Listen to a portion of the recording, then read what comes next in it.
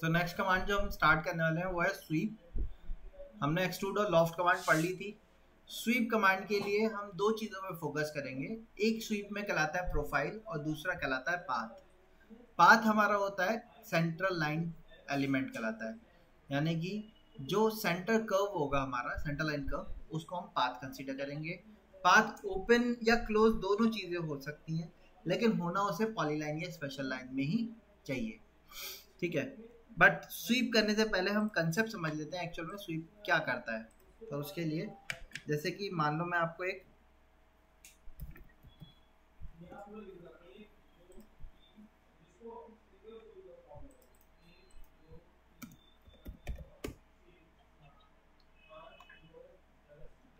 अब जैसे आप देख रहे हो ये ट्यूब्स हैं।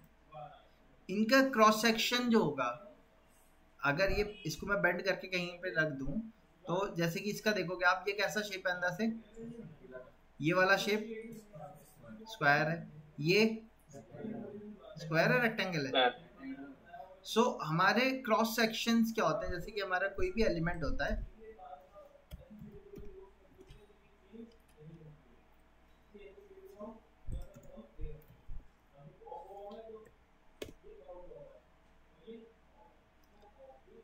जैसे आप इसमें देख सकते हो, ये हमारा एक एस कर्व बना हुआ है, ठीक है पाइप से। इसको मैं कहीं से भी कट करूँ तो ये शेप कैसा लेगा हमारा? सर्कुलर रहेगा, ठीक है?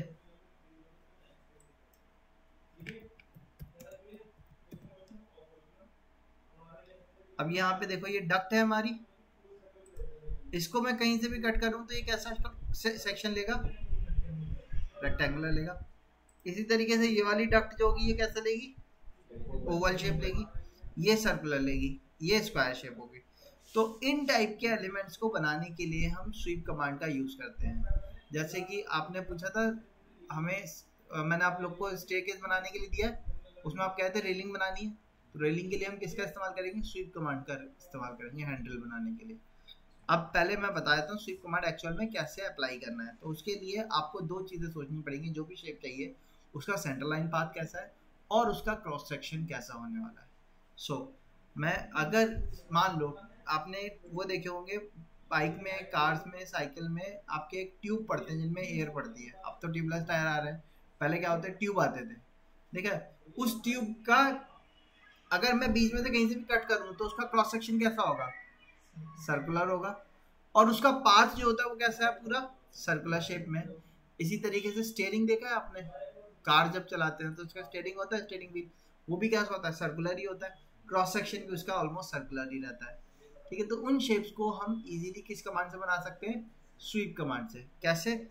उसके लिए मैंने क्या किया? स्टेयरिंग बनाने के लिए मैंने सर्किल लिया। सर्किल को साइज़ दे दिया मैंने। 150 फिफ्टी mm का रेडियस दे दिया।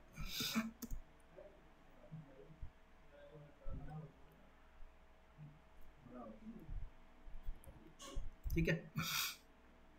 अब ये बीच ये राउंड एलिमेंट हो गया जिसको हम पकड़ते हैं स्टेयरिंग का।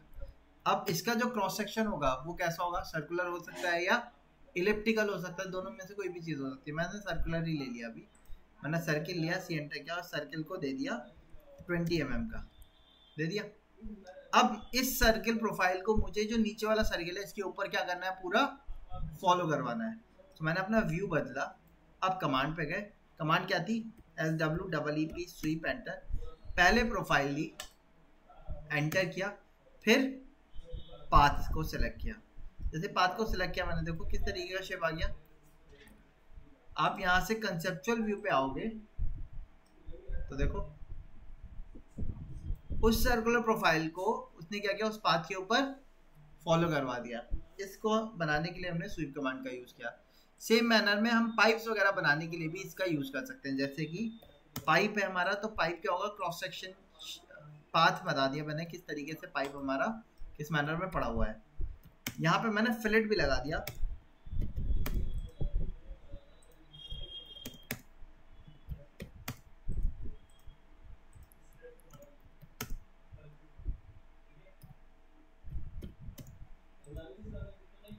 यहाँ मैंने 250 का किया, यहाँ मैंने 350 का किया।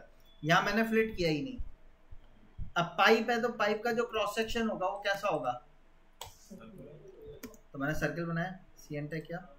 डी एंटर किया, डाया दे दिया हंड्रेड का। छोटा पड़ रहा है डाया।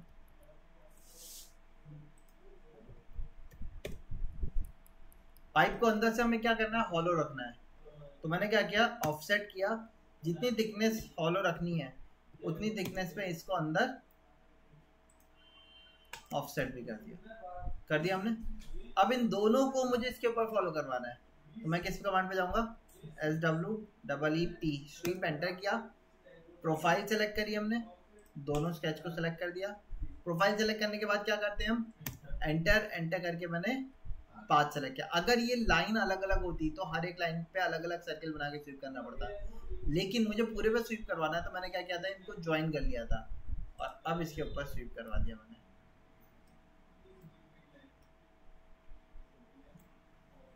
अब देख सकते हो आप अंदर से कैसा है ये। Solid correct S U B T enter किया। आउटर वाला पेरेंट एंटर इनर वाला चाइल्ड एंटर कर दिया। इसी तरीके से अगर मुझे डक्ट बनानी है तो मैं क्या करूँगा? रेक्टेंगल शेप लिया मैंने। उस रेक्टेंगल को ऑफसेट कर दिया अंदर की तरफ़। स्वीप कमांड पे गया, पहले प्रोफ़ाइल एंटर फिर पाथ हो गया? सब करके शेप आ जाएगा।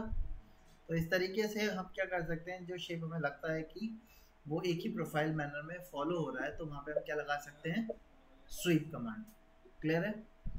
ठीक है, इसका यूज़ अब आप हैंड्रेल वगैरह जो है आपकी उनको डिज़ाइन करने के लिए बालकनी में हमारी रेलिंग होती है उसके लिए भी हम इसका यूज़ कर सकते हैं आसानी से हमारा तैयार हो जाएगा। या घर में आपने देखा होगा चारों तरफ़ कॉर्निश होती है छतों पे। देखा है नहीं? या पता ही नहीं क्या होती है कॉर्नेस सर। जी? सर वो एक बार पास करके दिखाया गया सर कैसे किया था सर? क्या चीज़? वो उसको सर पास करके था सर? अभी बता रहा हूँ एक मिनट। ये देख रहे हैं। ठीक है, इसको हम कॉर्निश कहते हैं। ठीक है? ये कॉर्निश की डिज़ाइन जो है, हम किससे बना सकते हैं? एक बार ये शेप बनाया। जिस मैनर में चाहिए रूम में पॉली लाइन से पाथ बना दिया और उसको क्या कर दिया? स्वीप कर दिया। एक बार में तैयार हो जाएगी। हाँ आप क्या कह रहे थे भाई? क्या चीज़ पूछना है आपको? सर, एक बार मैं। मान लो मैं एक वायर बनाना चाह रहा हूँ तो मैंने वायर के लिए स्पेशल लाइन ली।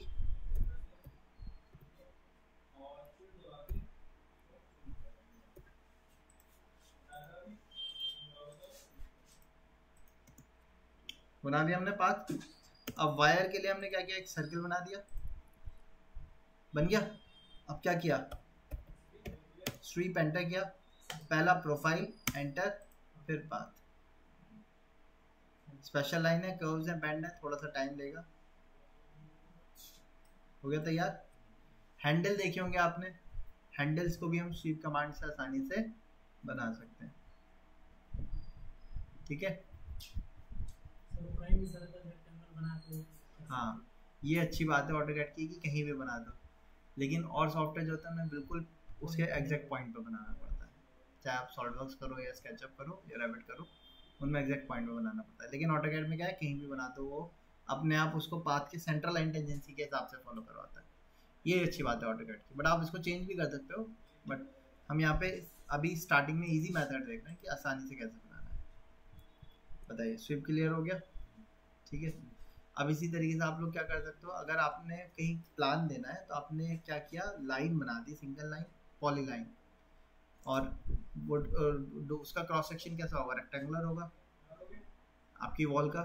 आपने रेक्टेंगल बनाया और लाइन के ऊपर उसको क्या कर दिया?